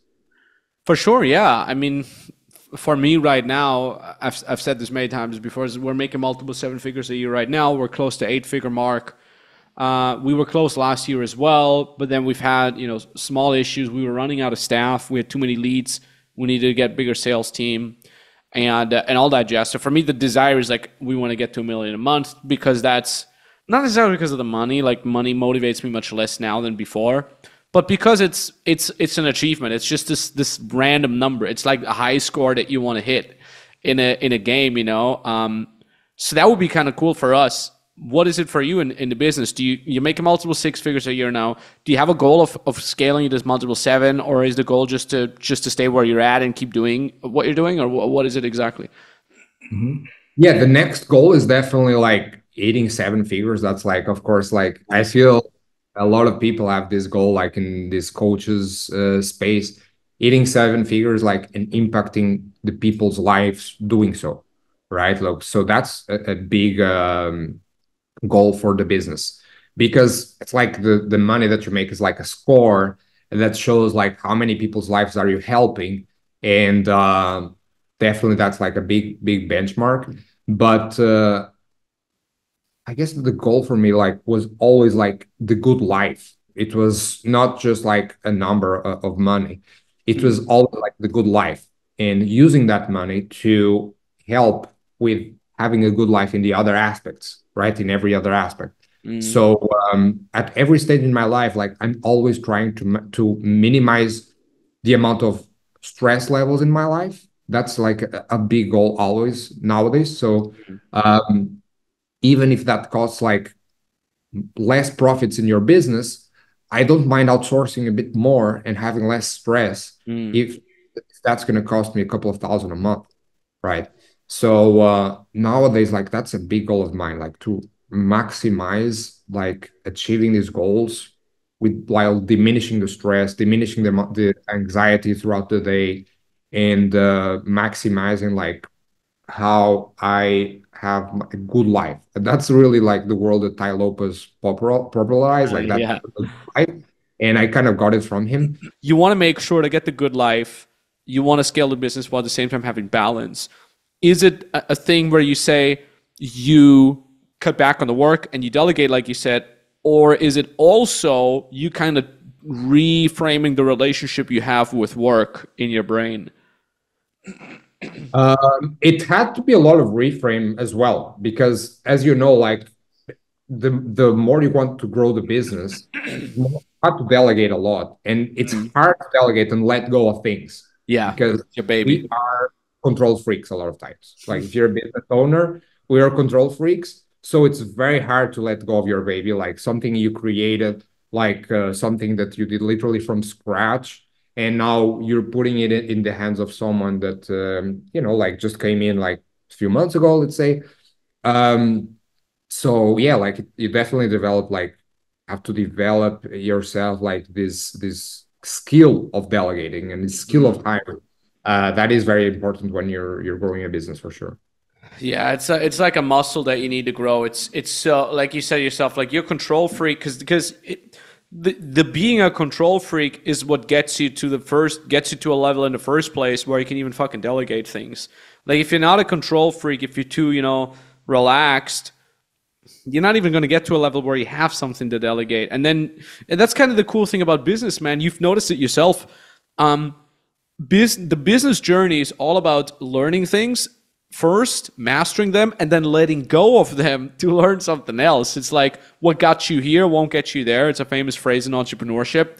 So from zero to 10K a month, it's a lot about just freaking volume. Like a lot of people think oh it's about like the magic pill. Like what app should i download that's going to make me go viral the easiest you know? It's like no shut up. It's just like you're going to make a lot of content that nobody wants to hear or write or see. You're going to dm a lot of people. You're going to be on a lot of calls of people that won't buy. It's just volume volume volume because you got nothing else going for you. And then and then you you got the volume part down so you're making 10k a month. Now let's say you want to make 30k a month. So but you're already working 8 9 10 12 hours a day. So you're in, in your head, you're like, well, if I in order to get a 30k a month, I can't work even more, and that's where a lot of people get burnt out. But they don't realize that at that level, you need to let go of the volume part and switch to another vehicle which is all about structures and procedures. Like that is where you need to proceduralize the dming process the sales process the content creation process so you can start delegating it. So now you learn that. You learn all the procedures. Great. Now you're making 30k a month. Maybe you got one or two assistants. And now you say well let's make 50k a month. Well you got all the procedures and you're trying to automate it with procedures, but it doesn't work because you need to start delegating and you need to have a small team that starts taking over more and more. So now you let go of the delegate of, of the procedure process tasks, and now you got to acquire the skill of, of, of people. Like you need to hire people, interview them, you need to manage them. You know, you need to have a good system where you're not too nice to them, but also not too much of a crazy asshole boss. So now you got to learn that skill. It's all a, it's all a matter of acquiring a skill and then letting go of that skill at the right moment to acquire the next one. And what got you here won't get you there. And you can extrapolate that all the way up to making 500k a month. Because when you're like, once I cracked half a million a month, my I had to completely change my my my my my, my sight from let's look at what I have to do this week to let's look at what we're going to do this quarter. It's like all of a sudden you have to learn foresight on a much much longer time scale, which is again a completely different skill, and it messes with your with everything. It, it's and that's the crazy thing because you mentioned earlier pressure, anxiety. As a business owner, it's only that. It's like the moment you think you got it down, if you want to scale, you got to expose yourself to another unknown. And that puts pressure on you, and that puts anxiety on you, and that kind of sucks. And then you do that, you master that, and then you think, okay, I'm good now. But then there's this other unknown that you got to expose yourself to. And then at some point, you stop resisting that unknown. At some point, you're just like, ah, so that's what entrepreneurship is. It's just perpetual craziness. And you know what? I fucking love it. Cause like a lot of people, they see that craziness and they let they let it kill them. They let it turn them bitter, and that's where they just stagnate. They stay the same because they're like, "Oh, I don't want to hustle all the time." Blah blah blah. I'm just going to stay at my level. When in reality, it's just like they haven't learned, they haven't acquired that skill of enjoying the unknown, of enjoying the craziness of entrepreneurship. And you know, now you've guys like you and I were like, we love the craziness about entrepreneurship. We got hooked on that. We're almost addicted to it. And now we're riding that wave of unknown, of anxiety, of weirdness. And that makes you a way stronger person. That makes you a better person, a fitter person, because you, you extrapolate that skill, that resilience to the gym.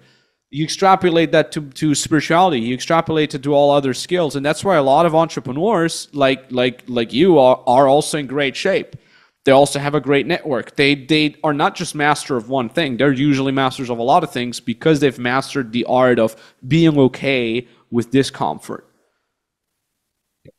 If someone I met uh, has one area of their lives that is clearly out of balance, no, it doesn't matter if they're making like 10 million a month. I mm. am I learn from them. I'm gonna still take advice from them but I know it's not a person I'm gonna be like buddies with, you yeah. know, like because I don't admire someone that has one area of their life like screwed up. If someone is making like 10 million a month and they have a beer, a belly, uh, they're completely out of shape and they're 35. I'm not really going to be buddies. I might learn a lot from this person, but it's very hard for me to admire them. And um, because I uh, look at people, for example, Arnold Schwarzenegger, I admire him so much mm. because he accomplished, you know, like all that he accomplished, and it balanced the other areas of his life, right? He accomplished the physique, he accomplished the relationships, he accomplished the, the business aspect. I admire. Him. But then there are other guys, like for example, Ronnie Coleman. I don't know if you know. I know the bodybuilder. Yeah. It's hard for me it's super controversial, but it's hard for me to admire a person that, you know, ended up on a wheelchair, right? It's hard for me to, uh, I, I give him props for already accomplished, and uh, that's amazing. But when I compare someone like this with Arnold, for example, it's hard for me to admire someone that yeah. sacrificed other areas of their life in because of one specific area, right? So um, yeah, like for that reason, I I really really uh, admire people that balance things in their life and they think long term as, as well, and they think of their older years uh, and everything um, instead of someone that you know like just focuses on one thing, ignoring Yeah. the others. Yeah, man, it's a very mature way of seeing things, to be honest. And and I know you've worked with a lot of people, including the guy from the future, the the the the, the YouTube channel. I, I literally started watching his stuff, and now I read like, oh shit, you you trained him. Do you? uh What is kind of like the best age out of all the clients that you've had, where you're saying like, okay, like if you're in your 20s or whatever, or if you're in your 40s, you're gonna have the easiest time getting in shape. I'd say 30s is the absolute best. Mm. um, for people that become my clients. Okay. And there's a reason for this. Like theoretically, when you're in your 20s, it's easier to get in shape. But a lot of people that I work with, in their 20s, they're unable to uh, be to follow the guidelines I gave them. Like they are Huh. too much ADHD, right? They're like Huh. one one month they want to get in shape, then the next month they get a girlfriend and it's not as important anymore. I feel that people in their 30s are more stable Mm. and when they come to me wanting to get in shape, they take the program more seriously, Mm. right? And it's something that they actually, it's like they actually have a pain. It's like, okay, I'm a dad now, and uh, I don't want my daughter to see me out of shape when she's five. Huh. So uh, they take things more seriously. While people in their 20s, of course, I have amazing results with people in their 20s, but they don't have as much as a pain. So it's harder for them to to commit so much to to the program and uh, to my recommendations. Damn, eh, that's a very good point. You know, I'm in my 30s right now, and when you're in your 20s, you think once you're in your 30s, your life is over. And then um, I haven't felt that right away, but I felt it then like last year when I turned 33. I'm like, oh shit, I got like seven more years, and then I'm 40.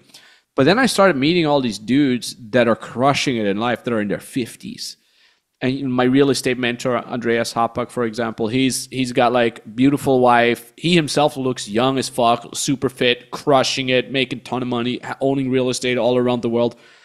And, and i asked him i'm like when was it that you peaked expecting him to say something like 29 30 and he said 44 he said at 44 i had i i was still feeling great. Like my energy hadn't dipped yet like it is now in my 50s Plus, I had all the experience that I didn't have in my 20s yet. I was mentally much more balanced. I was much more fucking confident. I had so much experience, so much more knowledge. And every time I ask that someone, they all say, "Yo, I peaked in beginning of my 40s," and I'm like, "That is fucking cool." Because then guys like you or I, like we've we've started relatively early with our personal development journey probably much earlier than the guys that I'm talking to that are now in their 50s. So by the time we're in our 40s and 50s, we'll be even more ahead.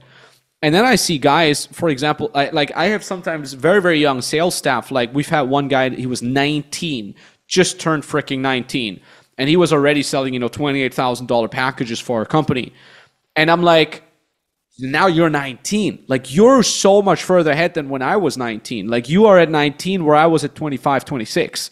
So the generation after us, man, because they're growing up with watching stuff like ours that already puts them on the right path very early on.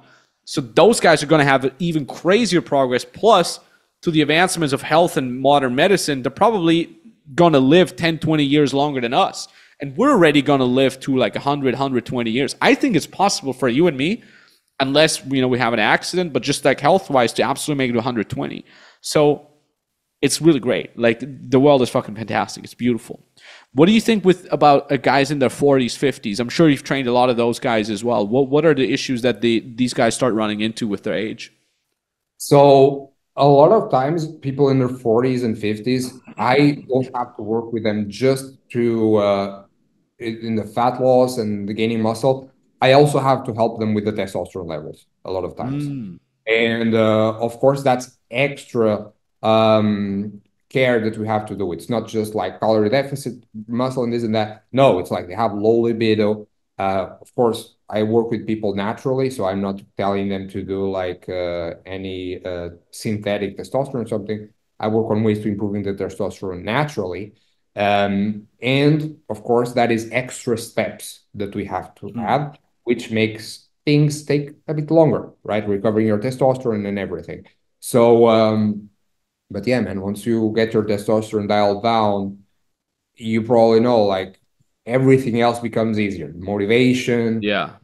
losing fat, gaining muscle. And a lot of these people, unfortunately, they are unaware for decades of things they're doing chronically every single day that's suppressing their testosterone, all the way from foods they eat, habits they have, um, things they put on their body. Uh, like there's so many things, so many small things that add up and make and crushes this guy's testosterone, and they don't feel it, it on their twenties. They start feeling on on their thirties, but on their forties, that's when like it adds up, and you you really feel what you did for the past decades. You really feel it when you're in your forties a lot of times, and a lot of times, you know, these guys have like really low testosterone at that age. I mean, what what is it specifically that people or that, that men specifically do that decreases their testosterone, and what do you then do to increase it naturally? The biggest one is micronutrient deficiencies. So, uh, if you have a specific micronutrient, specific micronutrients that you miss for a week, you might feel you're a bit off, but okay, uh, that's not a problem. But there's if there is specific micronutrients that you miss for years, it's gonna have very big damage on your body. You know, and it's very common nowadays for people to have these micronutrient deficiencies. Like you say, the vitamin D, that's the most like popular one. Um, and even that one being popular, so many people know about it, but still so many people are missing it, which is like a key for testosterone, right? So if that one people are missing, imagine the ones that they never heard about, the selenium, right? The the the iron deficiency, the, the copper, like there's so many that guys are unaware of. Uh, but of course, because I've been doing this for four years, nowadays, even before they, they do like blood tests or, or anything to, to check their blood levels, even before, a lot of times I look at the symptoms and I'm, and I look at their lifestyle that they told me. On one call, I'm able to tell, okay, you're probably lacking some omega 3. You told me you don't eat fish. You told me that you have pain on your uh, joints. Um, probably missing some omega 3 on your diet. Then implement it. And lo and behold, after a month, they're feeling like much better, right? So, step number one for testosterone always fix your micronutrient deficiencies. Okay, what are the other steps? I mean, sleep is pretty obvious, Mm. right? So, uh, people have poor sleep hygiene. They just uh, lo- are looking at the white screen right before bedtime. You know what I mean? And then they're sleeping with a partner next to them, and the room is super hot, and the, the partner room even more hot, which is bad. Like you have to sleep like in a cold room, yeah. have like full recovery. And then when they wake up, they wake up like with anxiety because of the alarm is like super strong. Uh, man, like my wake up is like super chill. Like I have a lamp that simulates a sunrise next to my bed. So a lot of times I wake up just without light, n- not even with any sound. And then after 10 minutes of the sunrise, birds start chirping. That's my that's my alarm. It's birds chirping Sick. Quietly first, and then they start getting louder and louder in case of like I still didn't wake up. And at, at, at last, like if I didn't wake up with the sunrise, with the birds chirping, the last part of my alarm after 10 minutes of the birds chirping, Arnold Schwarzenegger starts shouting. That's the 10 minute of my alarm clock. It's Come Arnold on, wake up. is saying, bro, literally, Arnold literally, I, I wake up to this every morning. Arnold says this. When you wake up, don't think. Just get up, get out of bed and do something. That's literally the first words I hear in the morning from Arnold. Uh man, the goals. I Arnold is like I admire him so much, so I like waking up to him every morning. That is fucking dope. Uh, gotta love Arnold, man.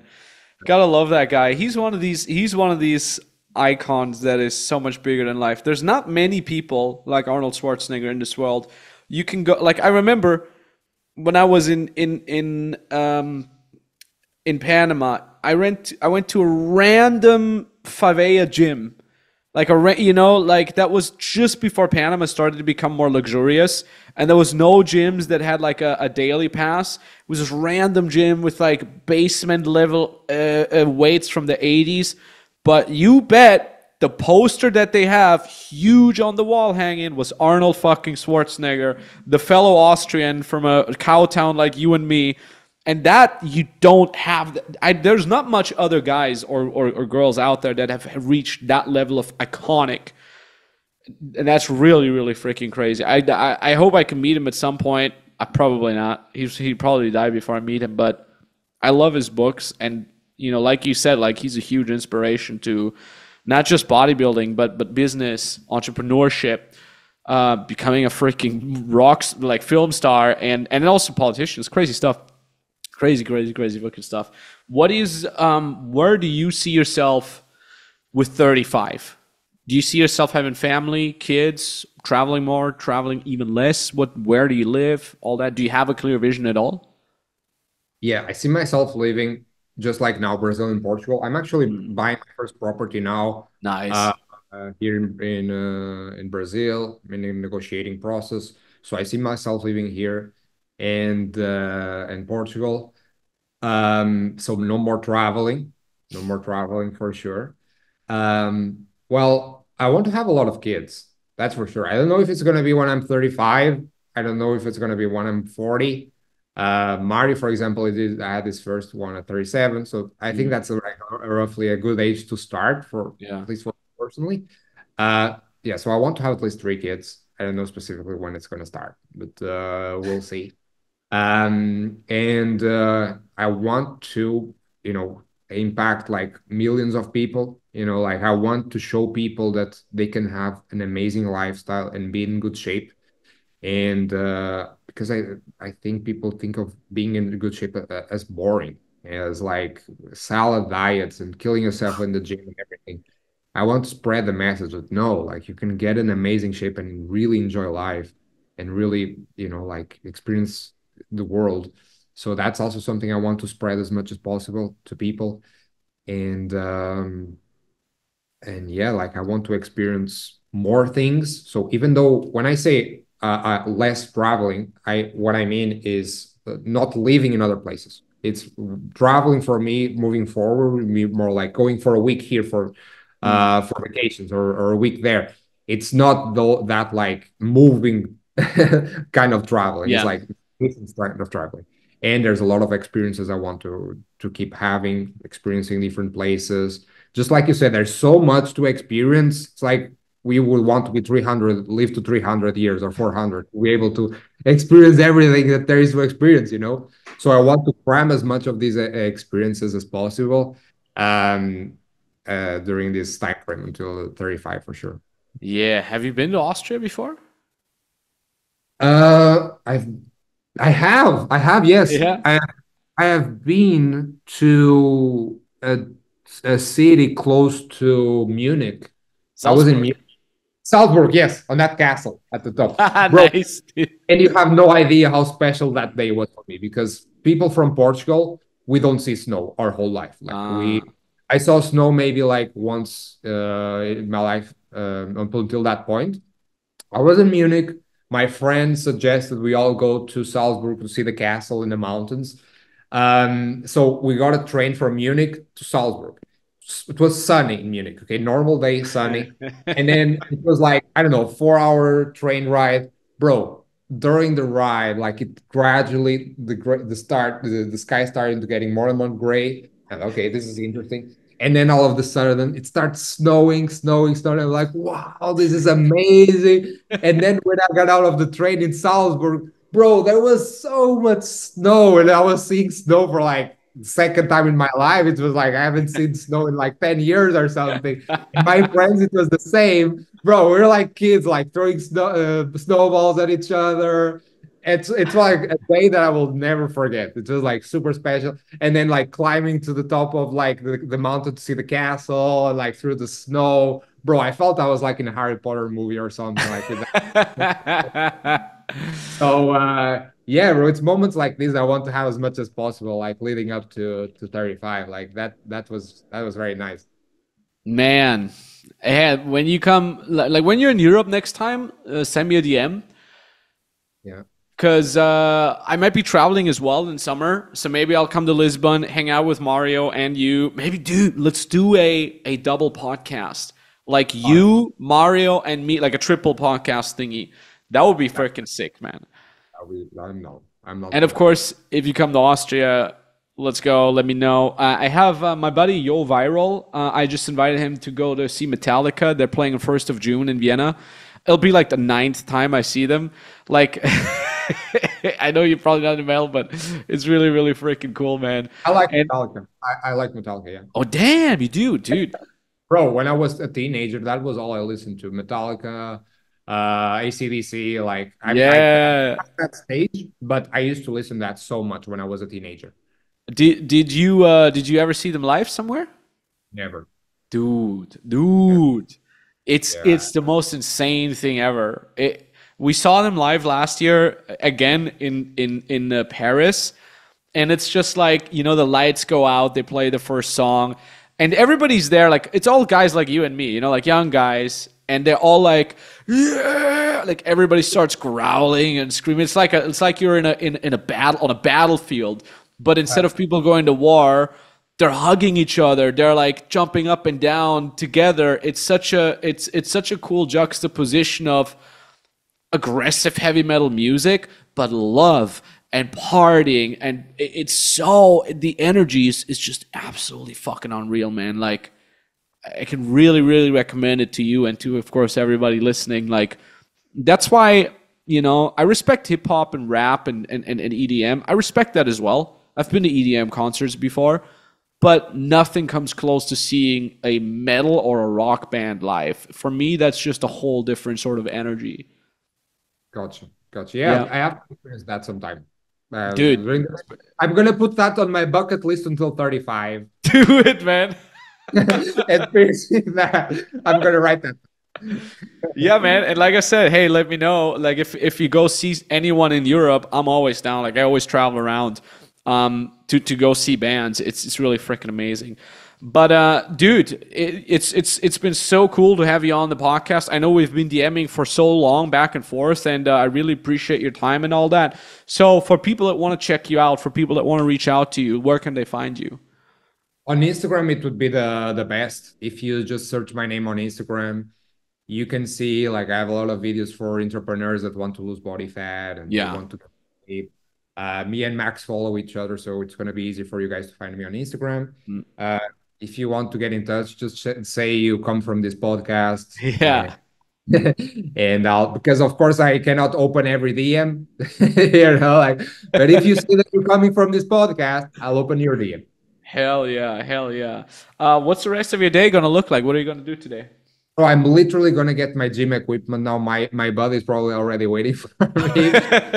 In time, it's almost 12 p.m. here. Perfect. That's 12 p.m. is like the time we go to the gym.